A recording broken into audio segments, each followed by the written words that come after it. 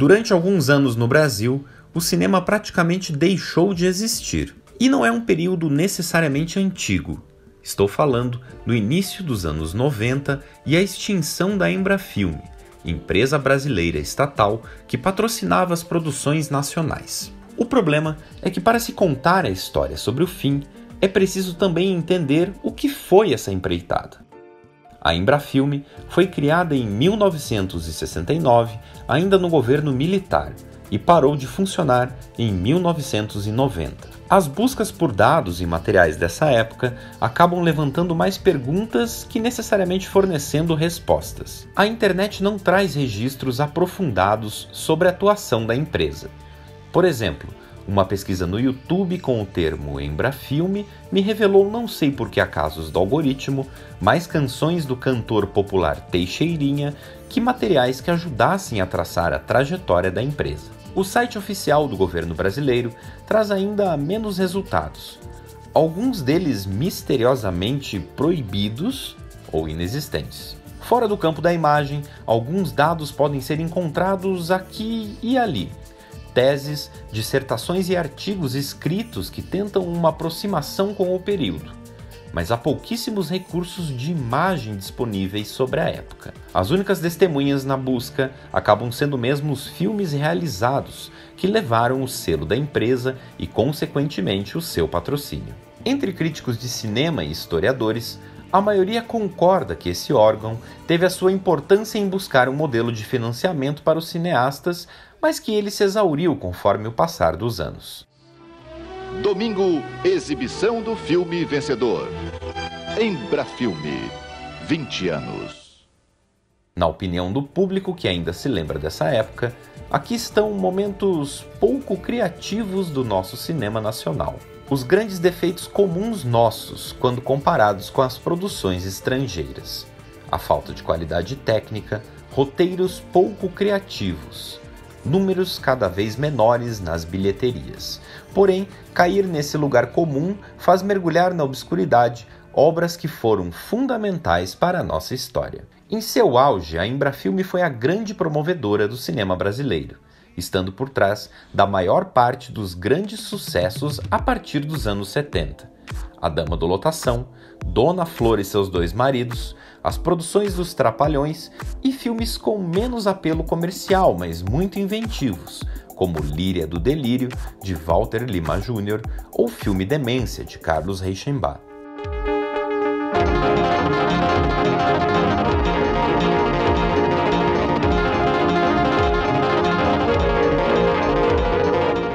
O mecanismo por detrás da Embrafilme era simples. O valor dos impostos pagos pelas distribuidoras estrangeiras para exibirem filmes no Brasil era revertido em parte na produção de obras nacionais.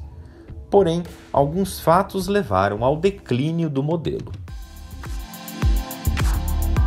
Além dos protestos dos cineastas que acusavam a Embrafilme de privilegiar o financiamento de alguns poucos artistas e da imprensa, que em alguns momentos chamava o cinema brasileiro de clube fechado e máfia, o cenário mais amplo incluiu uma grande crise econômica que envolveu o país nos anos 80, com o crescente endividamento do Estado e de suas empresas. A ineficiência e fracasso das políticas públicas e setores industriais embalaram as pressões pela adoção de uma visão neoliberal que pedia a desestatização e a liberação das importações.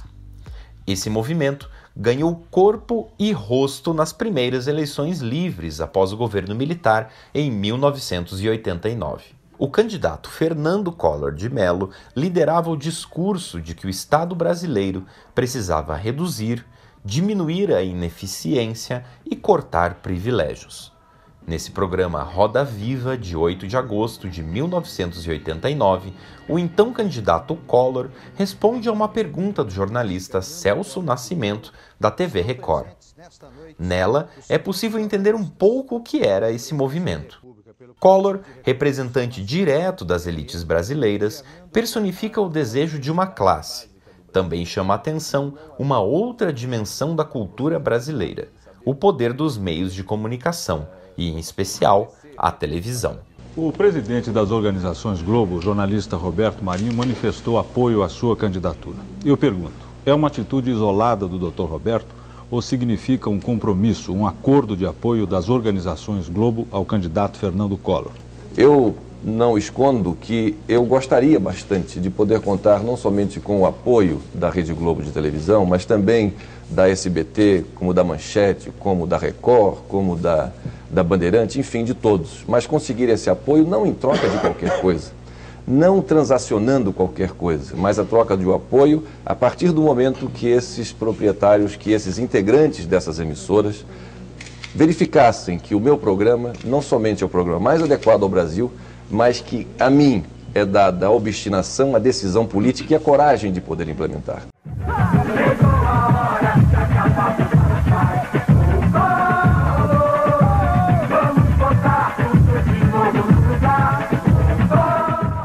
O resultado das eleições faz parte do imaginário popular brasileiro. Collor, o caçador de Marajás, assume a presidência após desbancar o então líder sindical Luiz Inácio Lula da Silva. Uma vez empossado, as promessas da política de diminuição do Estado vêm logo. O Plano Nacional de Desestatização do governo produz resultados como a Lei 8029 de 12 de abril, que permite a privatização ou dissolução de empresas brasileiras de energia elétrica, de transportes e a Embrafilme, o Conselho Nacional de Cinema e a Fundação do Cinema Brasileiro, que eram responsáveis também pela regulação e gerenciamento do cinema no Brasil. É importante perceber que a lei permitia inclusive a venda da Embrafilme. Nessa entrevista de 6 de maio de 1990, feita poucos dias depois da publicação da lei, o produtor e diretor Luiz Carlos Barreto declara que tem interesse em arrematar as ações da empresa que pertenciam ao governo. Quer dizer, não comprar diretamente em seu nome. Barreto fala logo de início que não tem dinheiro para isso e está representando um grupo financeiro com tradição na área do cinema. Ele vê o potencial da Embrafilme na criação de novas produções e acredita que o governo Collor ainda irá instaurar um novo projeto para a indústria cultural, que a colocará a par de grandes centros europeus e dos Estados Unidos. Talvez o que chame a atenção na entrevista seja o fato de Barreto ser tratado como o coronel do cinema brasileiro, título que inclusive o enfurece ao final da entrevista. O produtor se defende, dizendo ter sido muitas vezes prejudicado no destino das verbas da Embrafilme e que nunca foi beneficiado injustamente. Ele considera que a perseguição vem por conta do seu profissionalismo e sucesso no meio.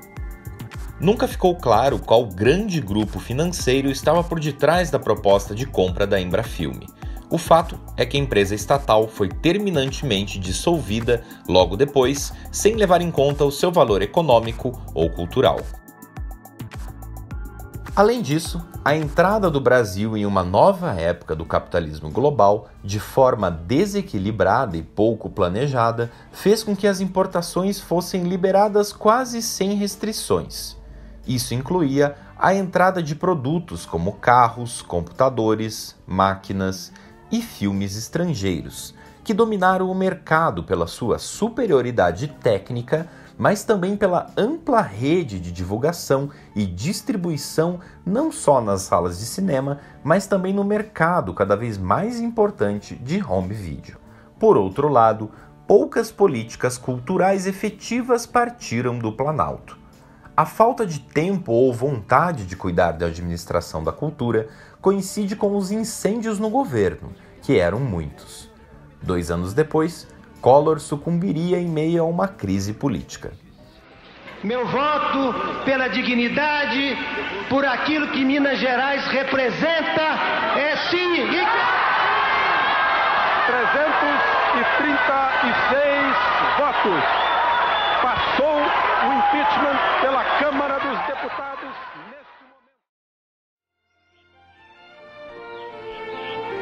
Que lindo, Teodoro. A história contabiliza cerca de 200 filmes nacionais patrocinados pela Embrafilme em toda a sua trajetória. muitos deles inclusive realizados pela LC Barreto Produções Cinematográficas. A ascensão e a queda da Embrafilme pode ser colocada em perspectiva com a trajetória das salas de cinema no Brasil, um dos únicos dados seguros dos quais temos acesso. Do auge de 3.276 salas presentes no país em 1975, o número vai em geral caindo ano a ano até chegar a 1.033 em 1995. O circuito exibidor foi se tornando cada vez menor e mais concentrado em zonas urbanas. Se somarmos isso à crise financeira dos anos 80 e também ao sucesso da televisão em arrebatar esse público, encontramos pistas que mostravam que o cinema brasileiro estava entrando em decadência comercial. O que aconteceu? Quando o cinema nacional parou de falar com o seu público? Essas são perguntas ainda abertas à discussão na trajetória do cinema brasileiro. Talvez o que tenha havido mesmo é o vazio, um momento de incertezas. Os arquivos da Embrafilme se espalharam supostamente por agentes privados. Mas o fato real é que muitos foram simplesmente destruídos. O destino deles é mais um dos grandes mistérios da nossa cultura brasileira. Mais uma memória jogada no lixo. Pedro Butcher escreveu um artigo para a revista de cinema virtual Cinética, no qual fala a respeito do momento de dissolução da Embrafilme. Segundo ele, em 1990, 12 coproduções internacionais foram suspensas. Além de outras 3 mil cópias de filmes prontas para distribuição nas salas de cinema que ficaram paradas por falta de interesse dos exibidores que não precisavam mais atender às leis de exibição vigentes até há pouco o crítico chama atenção para alguns poucos filmes brasileiros do período que procuraram, em um movimento quixotesco, chamar a atenção do público, mas não conseguiram jamais encontrar a luz do projetor, ficando em uma espécie de limbo na produção nacional. Essa expressão de filmes que ficaram para sempre na obscuridade me chamou a atenção. Por isso, voltei meus olhos para um deles, Capitalismo Selvagem, de André Klotzel, em uma tentativa de entender melhor esse período. O que encontrei ali me fez descobrir aspectos muito particulares e pouco explorados nesse período.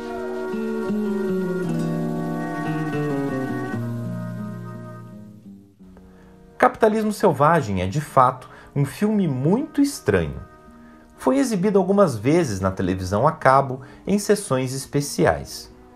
E como as locadoras físicas já fazem parte de uma arqueologia do audiovisual, tive que recorrer a alguns fóruns de cinema. Em um dos brasileiros, existe um tópico sobre o filme, mas não há uma forma de visualizar a produção.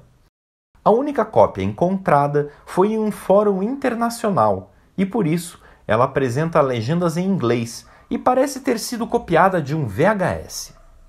É um arquivo um tanto inusitado me lembrou uma ave rara brasileira, não necessariamente bonita, nem viva, mas parecia um esqueleto empoeirado. Uma daquelas tantas criaturas exportadas para fora do país antes que a destruição encomendada de sua memória fosse executada.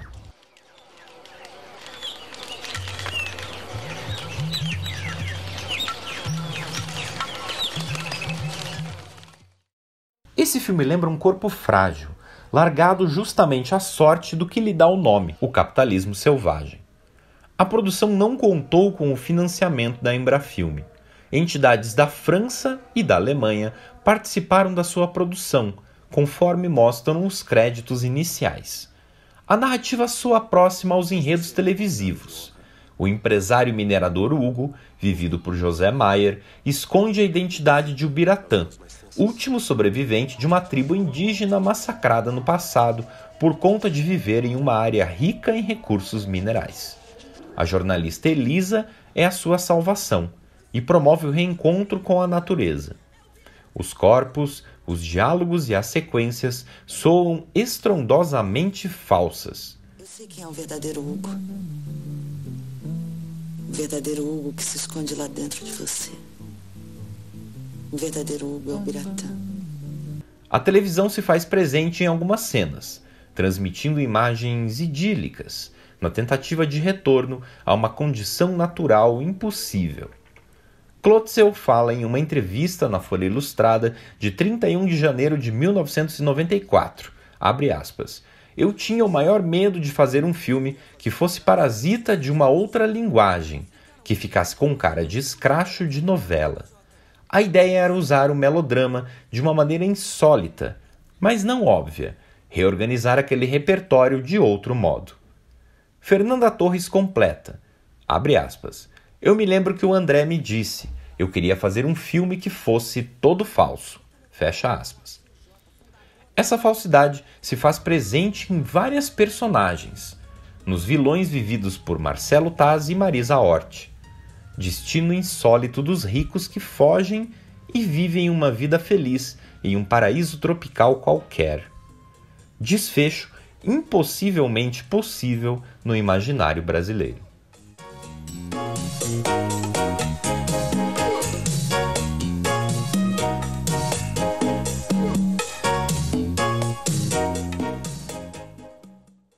Filme acaba sendo uma despedida melancólica de uma época, debocha da televisão e dos trejeitos dos personagens da novela, mas fica claro que foi engolido por eles mesmos no fim. Um processo feito aos poucos, ao longo das décadas. Um dos últimos sobreviventes da sua tribo, contando seu relato antes de sumir para sempre. É preciso concordar com Pedro Butcher Trata-se de um filme fantasma que, pelo jeito e época em que foi produzido, nunca encontrou nem a sua tela, nem o seu público.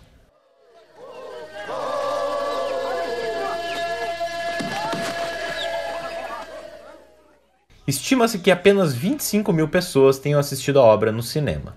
E mesmo assim, o filme foi a maior bilheteria de um filme nacional do ano de 1993. Isso nos leva para um outro filme, muito próximo no tempo, mas completamente distante na estética. Terra Estrangeira, filme de Walter Salles, lançado em 1995. O elenco traz também Fernanda Torres, que já havia falado na mesma entrevista dada na Folha Ilustrada sobre capitalismo selvagem, que se sentia muito bem ao trabalhar com outros atores também do teatro na produção. Ela se refere diretamente a Luiz Melo, que possui uma trajetória teatral marcante e no filme vive um traficante de diamantes internacional. Mas por ali também está a veterana Laura Cardoso, a mãe de origem espanhola do protagonista Paco, que morre sonhando em voltar a ver a sua terra natal, San Sebastián.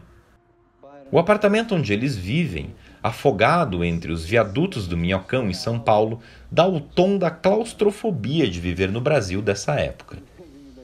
Ali também está sempre a televisão, envolta no ruído avassalador dos carros que passam dia e noite. E na tela, as figuras comuns da política brasileira. A ministra da Economia Zélia Cardoso e seu pronunciamento sombrio sobre congelamento das poupanças dos brasileiros. A falta de perspectiva a impossibilidade e a morte.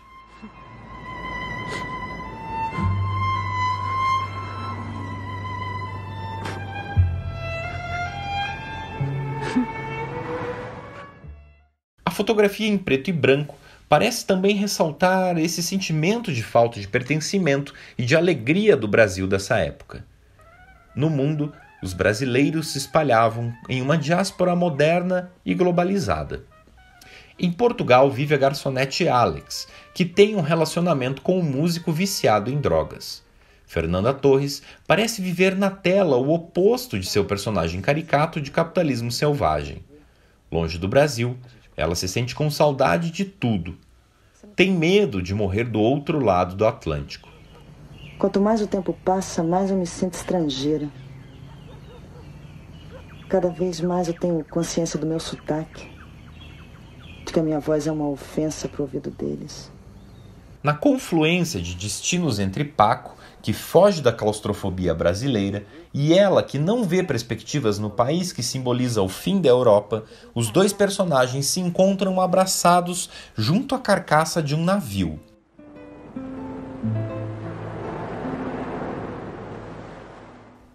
Uma baleia encalhada na praia cujo destino é estar à deriva, sem país.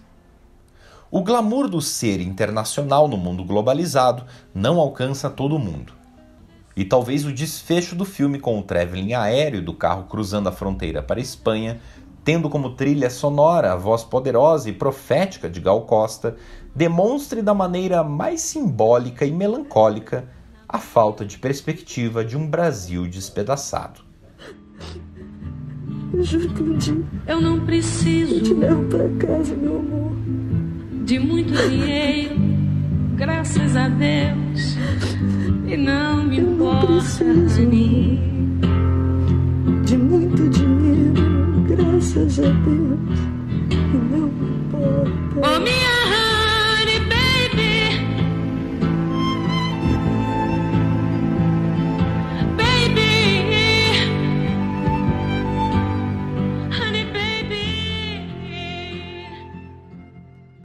Uma forma que talvez apenas Glauber Rocha tenha captado décadas antes no encerramento de Deus e o Diabo da Terra do Sol, um de seus filmes sobre o sertão brasileiro e a impossibilidade de novos horizontes. Honey, honey baby. O cinema brasileiro ainda veria dias melhores, de reencontro com o seu público e novos êxitos. Ainda que, na opinião do público em geral, nunca tenha superado sua condição de filho bastardo dos grandes centros produtores de cinema. Mas isso é assunto para outras reflexões audiovisuais. De qualquer forma, o final da Embrafilme, o congelamento do cinema brasileiro e os dias de escuridão vividos continuam abertos à reflexão, aguardando novos olhares para a gestão da cultura no Brasil. O Universine de hoje fica por aqui. Agradecemos mais uma vez a sua audiência e interação. Se inscreva no canal da UFPR TV e apoie a divulgação e produção científica brasileira. Um abraço e até a nossa próxima viagem.